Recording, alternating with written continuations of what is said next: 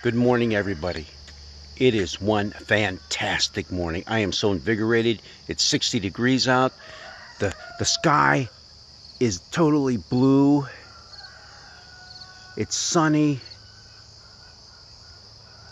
Great day for a test. Are you ready? Our test focuses on this Sunday's gospel lesson that's coming up in which Jesus is with his disciples in Caesarea Philippi, stronghold of the Roman Empire and they are discussing a very important topic. In fact, Jesus throws a question out at them. And that question is who who do you say that I am? Who do you say that I am? And of course, the response is you are the Christ, the son of the living God. Well, here's the test. Who is the one that gave that response? This is an easy one. I know you'll get it. So here's your answers. The one who gave that response, you are the Christ, the Son of the living God, is A. John, B. Peter, C. Paul, D.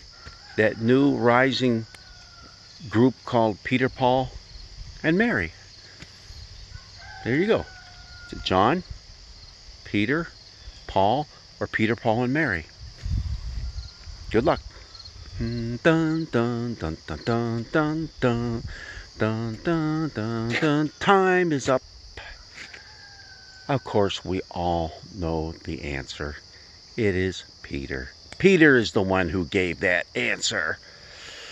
Ah, but that you know that was so easy. I have to give you another test. Just before Jesus turned to his disciples and said, Who do you say that I am?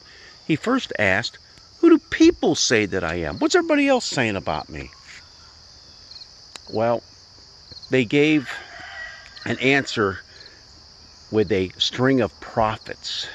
They think you're this guy, this guy, this guy, this guy. Which of these does not belong to that answer? Are you ready? The one that does not belong is A. John the Baptizer come back to life. B. Elijah. C.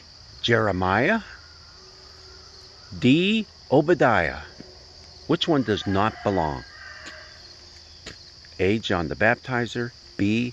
Elijah. C. Jeremiah. D. Obadiah. Hmm little tougher, isn't it? Dun, dun, dun. The correct answer to that is Obadiah. No, the answers that the, the disciples said, hey, this is what people, who people think you are, ranged all the way from John the Baptizer come back to life to Elijah to went up in that whirlwind. Remember that little tornado? God kind of took him up into the air.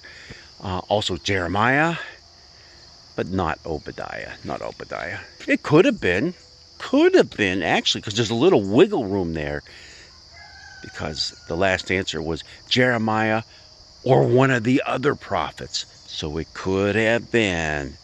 We just don't know. The whole point is all this is, is important because it it talks about identity. Identity. I mean when they people were thinking of Jesus in terms of being one of the prophets, that means they closely associated him and his message with that of the prophets. He was in unity with them. He was talking about God's love, God's grace, God's forgiveness, but also judgment as well. You know, if you don't shape up, you don't do what I've called you to do, bad things are just going to happen to you. But also, in the midst of all the bad things, those prophets constantly said, God's love is still here for you. God doesn't give up on his promises. He never gives up on you. So you have that part of identity.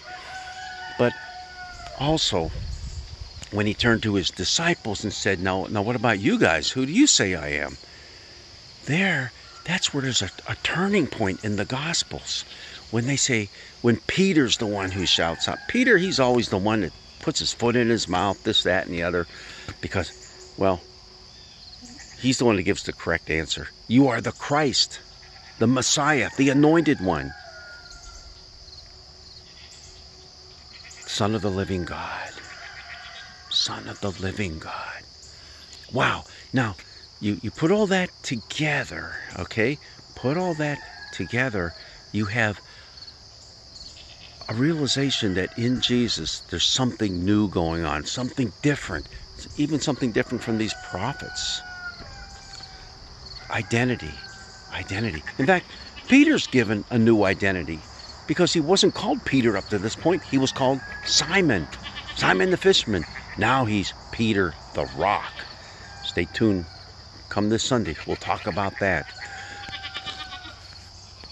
But it's important to know that Jesus, when he turned to his disciples, he was very, very explicit in his his question. He said, "Who do you? Hey, you, you, who do you say that I am?" In the Greek, that just bounces right off the page, and some of our English translations tend to lose that. Who do you? It's as if he's turning to you and to me right now and saying it right to our face. And perhaps he is, because that's a question we have to answer as well. Who do we say Jesus is? What does he mean to us in our lives? And how is our identity tied up in who we identify him with? Good things to think about all this week good things to think about all the time. Go out and have a great day. It's super fantastic. And I know they said there might be a pop up shower here or there, but for right now, I'm going to revel in all these blue, blue skies. Blessings be with you. As you might see, I have a whole bunch of people waiting for me to feed them. I better get to it. Blessings be with you.